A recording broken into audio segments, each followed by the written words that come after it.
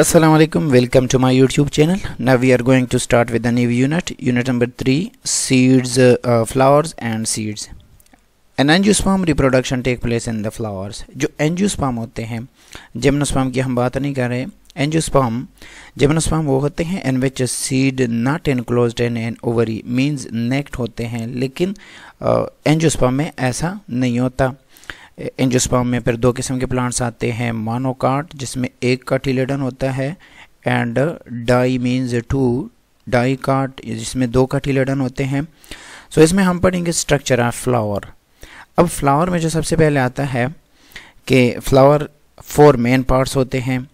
Four main parts कौन से हैं? इसमें सबसे पहले आता है हमारे पास सिप्पल हो गया। सिपल द फ़र्स्ट पार्ट है। The sepal protect the bud before it open and to a flower यानी फ्लावर से पहले हम इसको क्या कहते हैं? बर्ड कहते हैं। जब तक ये बर्ड है, इसकी प्रोटेक्शन का काम सिपल का होता है। ये देखिए, ये वाला पोर्शन होता है जो इसकी प्रोटेक्शन करता है। उसके बाद हमारे पास आता है petal the petal are usually large and colourful to attract insect इस फ्लावर ने चूँकि आगे पोलिनेशन में जाना होता है तो पोलिनेशन के लिए जो ज़रूरी चीज़ है दीज आर इंसेक्ट तो इंसेक्ट क्या करते हैं? अट्रैक्ट करने के लिए ये पेटल होता है। तो थर्ड वन जो हमारे पास आता है दीज आर स्टेमन स्टेमन इसके दो पोर्शन होते हैं anther and filament the stamen जो है ये male part of the flower है। यानी फीमेल uh, पार्ट भी इसमें होता है जिसको हम पेस्टल कहते हैं। इसके तीन uh, बुनियादी पोर्शन होते हैं। सबसे पहले आता है स्टिग्मा सेकंड नंबर पे ये ट्यूब पोर्शन आता है जिसको हम स्टाइल कहते हैं। And third one is the ovary ovary में क्या होता है? ओव्यूल होता है, जहाँ पर ये इसमें फर्टिलाइजेशन में जाना होता है। The anther is the part of the stamen इस एंतर की बात कर रहे हैं इस पोर्शन की वेयर पोलन इज़ प्रोड्यूस जहाँ पर पोलन प्रोड्यूस होते हैं, जिसने फिर ओव्यूल तक पहुँचना होता है। तो ये कहाँ पर प्रोड्यूस होते हैं? एंतर में प्रोड्यूस होते हैं। The filament is the delicate stalk which hold up the anther ये देखिए, ये जो सपोर्ट कर रहा है एंतर को, इसको हम क्या कहते हैं? फिलामेंट कहते हैं। पिस्टल जो है that is the female part at the top of the pistil is the stigma फिर उसके बाद ट्यूब स्टाइल और थर्ड वन इज़ ओवरी अच्छा एक्टिविटी में आपको दिया गया है कि अपने स्कूल के ग्राउंड में से अगर आपके फ्लावर है तो ऐसा कर रहे हैं कि कलेक्ट कर लें और उसमें बताएँ कि उसमें स्टिग्मा सॉरी उसमें जो सेपल पेटल ये कौन कौन से हैं? ओके पॉलिनेशन पॉलिनेशन क्या होता है? ये वो प्रोसेस है जिसमें पॉलन ग्रेन जो कि एंतर में बनता है of the male part of the flower from the anther are transferred इसमें ट्रांसफ़र होता है स्टिग्मा ये पेस्टल का पार्ट होता है of the same flower or another flower उसी प्लांट के स्टिग्मा में पहुँचता है या दूसरे, उसमें फिर हम डिफाइन करते हैं कि क्रॉस क्रॉस पोलिनेशन और दूसरा हम कहते हैं कि सेल्फ पोलिनेशन ये नहीं डिपेंड करता है सेम फ्लावर के स्टिग्मा तक पहुँचा है या दूसरे फ्लावर के स्टिग्मा तक पहुँचा है. अगर ये ट्रांसफ़र हुआ है पोलन ग्रेन स्टिग्मा तक, लेकिन सेम फ्लावर में, यानी जिस फ्लावर में ये स्टिग्मा होता है, उसी का पोलन ग्रेन अगर उसमें पहुँच जाता है, देखिए यहाँ पर तो उसको हम क्या कहते हैं सेल्फ पॉलिनेशन लेकिन अगर यही पोलन ग्रेन एंतर से पहुँच के किसी दूसरे फ्लावर में पहुँचता है तो उसे हम क्रॉस पॉलिनेशन कहते हैं।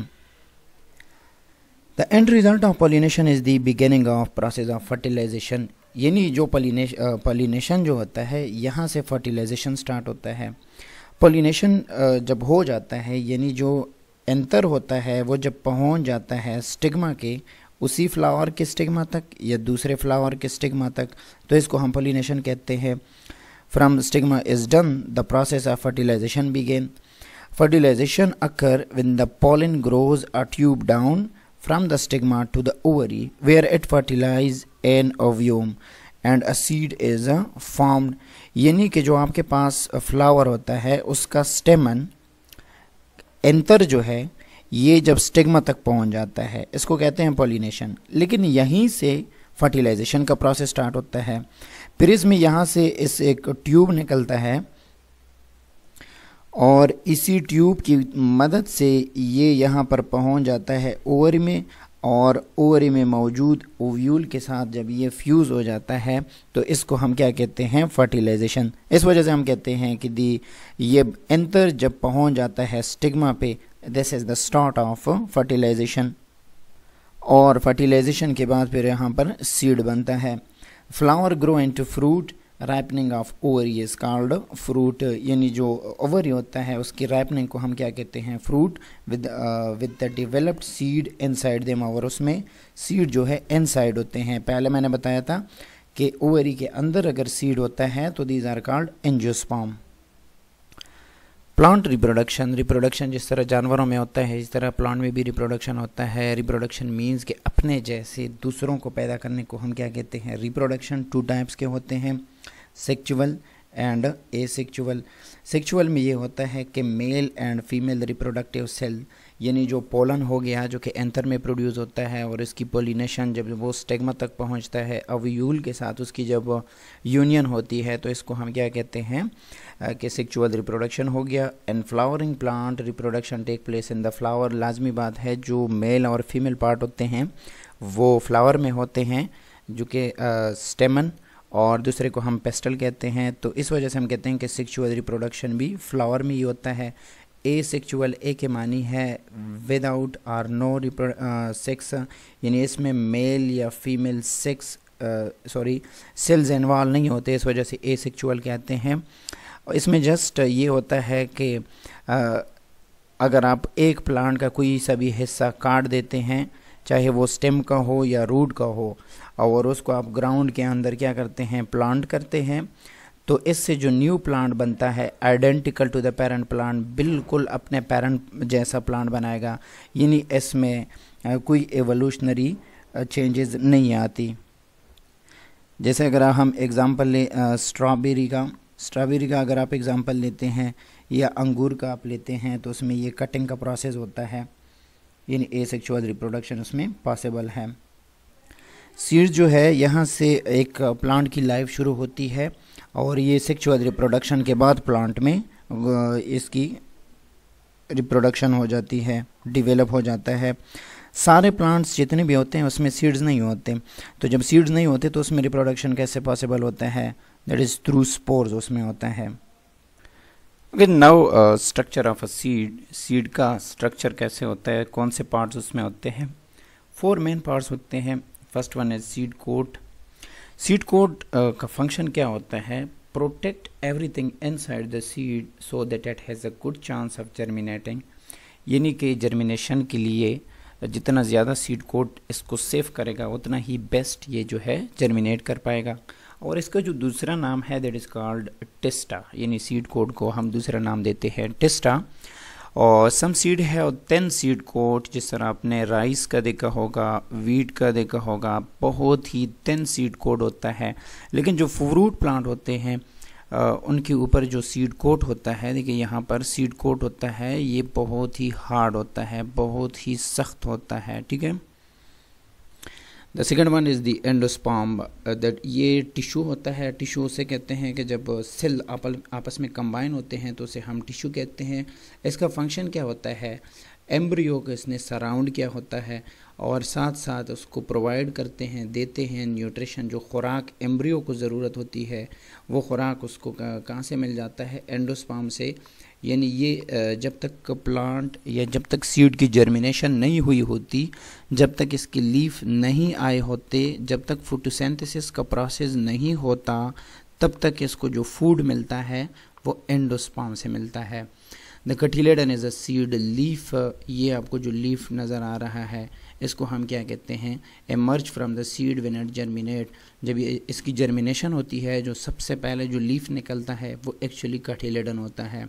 ये कटिलेडन दो किस्म के होते हैं mono cotyledon di cotyledon the embryo where life start within the seed यानी सीड के अंदर जो लाइफ स्टार्ट होती है दैट इज़ कॉल्ड एम्ब्रियो ये एम्ब्रियो सिर्फ़ प्लांट के सीड में नहीं होता एनिमल्स में भी होता है embryo the fully developed seed of some species such as peas हो गया, जिसे हम मटर कहते हैं बीन्स लोबिया कहते हैं, इसमें लेख कमी होती है किस चीज़ की? एंडोस्पाम की।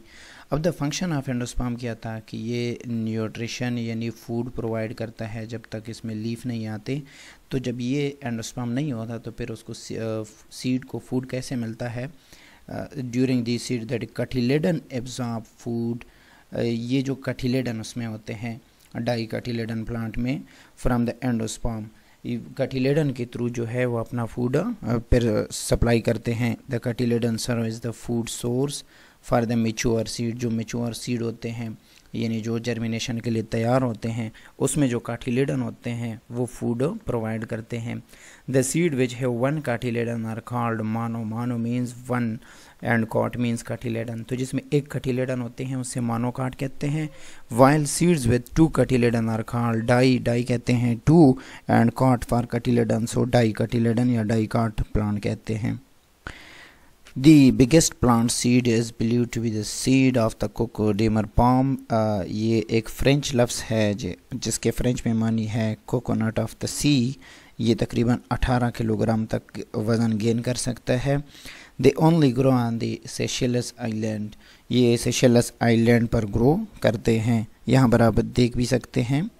ये देखिए, ये मुख्तलिफ़ जो पिक्चर हैं इस प्लांट की सीड के, ये तकरीबन 18 किलोग्राम तक पॉसिबल है कि ये वेट गेन कर सके।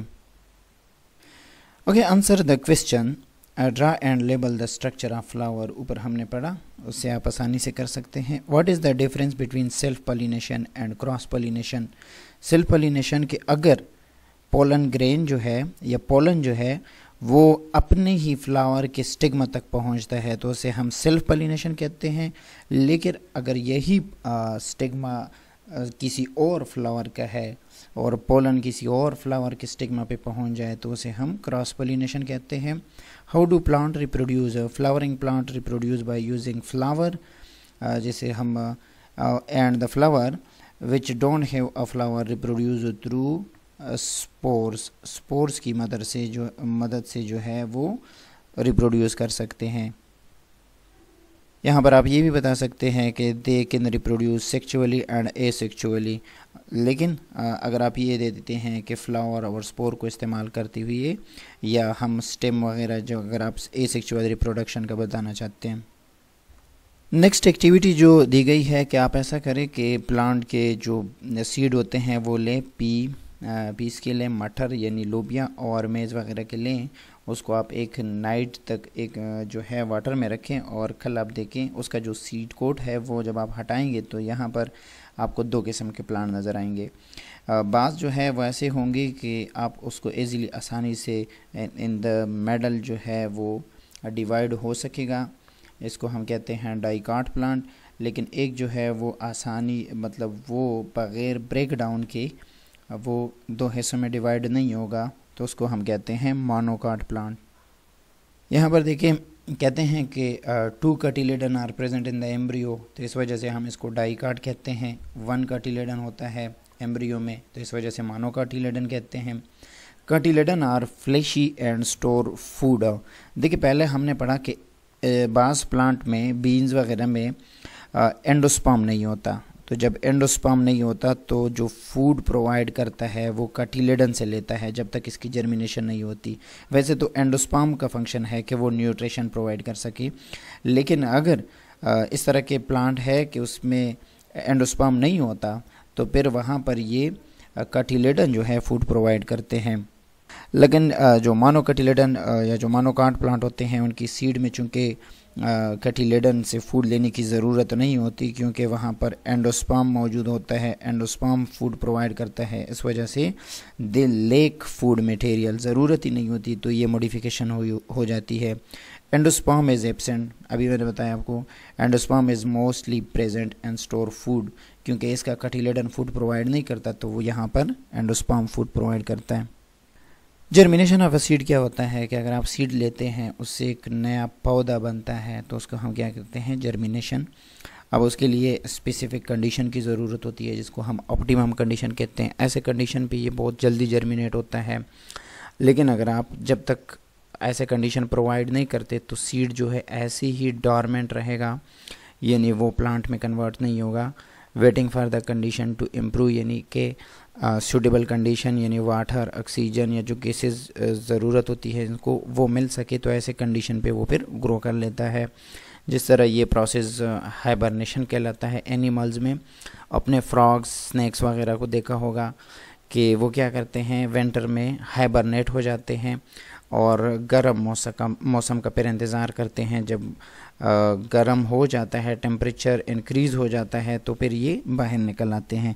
तो ऐसी ही कंडीशन जो है हबरनेशन या आप इसको कहते हैं ये सीड में भी होता है। अब जो जर्मिनेशन के लिए जो कंडीशन होते हैं, सबसे पहले लाजमी चीज़ जो है, लाजमी बात है कि वाटर है। और इसके अलावा ऑक्सीजन की ज़रूरत होती है हीट की ज़रूरत होती है, यानी हर एक सीड का अपना एक स्पेसिफिक टेम्परेचर होता है, जिस पे वो ग्रो जर्मिनेट कर जर्मिनेशन का प्रोसेस स्टार्ट कर लेते हैं। बाज़ हाई टेम्परेचर पे, बाज़ लो टेम्परेचर पे जर्मिनेट होते हैं। तो ये वो कंडीशन है जो सूटेबल या ऑप्टिमम कंडीशन पे फिर वो जर्मिनेट कर लेता है। अच्छा ऑप्टिमम कंडीशन जब सीड को प्रोवाइड कर लेते हैं तो वो वाटर लेता है। वाटर लेने के बाद ग्राउंड से वाटर लेता है, जब ये सीड के अंदर एंटर होता है तो जो स्टोर फ़ूड होता है, वो in the form of endosperm होता है या in the form of cotyledon depend करता है सीड पे, वो क्या करते हैं, वो उसकी ब्रेक डाउन हो जाती है, एनर्जी रिलीज़ होती है, यानी सीड को ये मालूम हो जाता है कि अब उसने जर्मिनेट होना है। Cause the embryo plant to grow inside the seed तो इससे एम्ब्रियो जो है, जिसने प्लांट में कन्वर्ट होना है, वो डिवेलपमेंट स्टार्ट कर लेता है। The embryo plant get too big for it seed and break through the case अच्छा तो इस तरह से जब वाटर एंटर हो जाते हैं तो उसकी स्वेलअप हो जाते हैं। अब रूट जो प्लांट से जो फ़र्स्ट पार्ट निकलता है, ये रूट होता है। Root from the radicle of the seed निकलता है। और लाजमी बात है, ये जियोट्रॉपिक है पॉजिटिव जियोट्रॉपिक ये डाउनवर्ड यानी ये नीचे की तरफ़ जाएगा और प्लांट को क्या करता है सपोर्ट करता है ताकि वाश्ड अवे यानी वाटर के साथ या किसी और हवा वगैरह के साथ इसकी वाश ना हो जाए, चलन ना जाए। The next part to emerge is the cotyledon जो कटिलेडन होता है the cotyledon has a shoot attach to it यानी जो कटिलेडन होता है, उस वो कन्वर्ट हो जाता है ऊपर की तरफ़ टू द शूट ग्राउंड से ऊपर की तरफ़ आता है। Once the shoot break through the surface फिर यहाँ पर लाइट मिल जाता है। सन लाइट से फिर ये कन्वर्ट करते हैं केमिकल एनर्जी में in the form of glucose और जिसको हम फोटोसिंथेसिस कहते हैं। The cotyledon leaves turn green जो कटिलिडन होता है, वो फिर ग्रीन आपको नज़र आएगा। अब जो है प्लांट ये फ़ूड जो एंडोस्पाम से या कटिलेडन से जो मिल रहा था, अब उस पर डिपेंड नहीं करेगा, क्योंकि अब फोटोसेंथिसिस का अमल शुरू हो गया है, ये अब एक प्लांट बन गया है। तो ये फोटोसेंथिसिस के थ्रू ही अपना फ़ूड तैयार करेगा। साइंटिफिक इफ़ेक्ट में देखें कि रशिया में एक ऐसा सीड मिल गया है जो तकरीबन थर्टी थाउज़ेंड ईयर्स बर्फ़ में पड़ा था, ठीक है? बर्फ़ में चूँकि टेम्परेचर लो होने की वजह से उस पर फंगल अटेक्शन अटेक्शन वगैरह नहीं होते तो इस वजह से ये ख़राब नहीं हुआ। तो जब इसको ग्रो किया गया है तो इससे साइलेंस साइलेंस्टिनोफैला जो है, ये प्लांट निकल आया है। Write the correct answer A B C D when the food inside a seed break down जब वाटर उसमें पहुँच जाता है तो उससे क्या रिलीज़ होता है? अभी हमने पढ़ा कि उससे एनर्जी जो है, वो रिलीज़ हो जाती है। A dicot plant di di means two जब आपसे कोई टाइम पूछता है तो डाई की यानी दो के लिए हम क्या करते हैं? डाई यानी di means two mono means one तो डाई का टेलेडन उसमें होते हैं। Root grow in which direction ये पॉजिटिव जियोट्रॉपिक है, यानी ये ज़मीन की तरफ़ डाउनवर्ड डायरेक्शन में आएगा। स्केटरिंग सीड यानी सीड्स को हम बेकरते हैं। जब हम कभी कोई फ़सल वगैरह उगाना चाहते हैं तो हम डिस्टेंस देते हैं सीड को। ये क्यों ज़रूरी है? क्योंकि देखिए, फ्लावर में जो है एक ही टाइम पे बहुत ज़्यादा सीड्स बनते हैं, ठीक है? अब जब ये एक ही जगह पे ग्राउंड में गिर जाएँगे तो उनके लिए जो खुराक है, जो एनर्जी, सनलाइट की, जो ज़रूरी है तो ये इसमें बहुत ज़्यादा कंपटीशन आ जाएगा। तो कंपटीशन से बचने के लिए इसकी स्केटरिंग बेकरना जो है बहुत ज़्यादा लाजमी है, ज़रूरी है, ताकि इसको ऑप्टिमम कंडीशन ज़्यादातर सीड को मिल सके और ज़्यादातर सीड जो है वो जर्मिनेट कर सके। अब इसके लिए डिफरेंट सीड्स की डिफरेंट जो है एडप्टेशन हुई है। बास सीड जो है, वो स्टिकी होते हैं, यानी वो हुक्स होते हैं उसमें। ये स्टक हो जाते हैं जब ये एनिमल्स या ह्यूमन बीन के साथ जब इसकी अटैचमेंट हो जाती है। या इसमें स्पाइक्स होते हैं, या बास सीड्स ऐसे होते हैं कि थ्रू हवा की मदद से वो स्कैटरिंग उसकी हो जाती है। इसका फ़ायदा ये है कि जितना ये फासले पर आएँगे, उतना ही उसकी ज़्यादा जो है जर्मिनेशन के चांसेस होंगे, क्योंकि इनके बीच जो कंपटीशन है वो कम हो जाएगा। अच्छा स्केटरिंग का एक तरीका ये भी है कि बाज़ सीड ऐसे होते हैं कि वो फ्रूट के अंदर होते हैं, जब एनिमल्स या ह्यूमन वगैरह जो एनिमल्स होते हैं स्पेसिफ़िकली गोट वगैरह ये क्या करते हैं? उसको का लेते हैं। का लेने के बाद जब वो एनिमल्स किसी दूसरी जगह पे जाके उसको वेस्ट में जो है, बाडी से कम आउट यानी बाहर निकाल देते हैं तो वहाँ पर इसकी जर्मिनेशन हो जाती है। तो ये भी स्कैटरिंग का एक ज़बरदस्त तरीका है। जो सीड लाइट होते हैं, यानी वेट जिनका कम होता है, वो थ्रू एयर जो है डिफरेंट पोजीशन पे जाके जर्मिनेट होते हैं।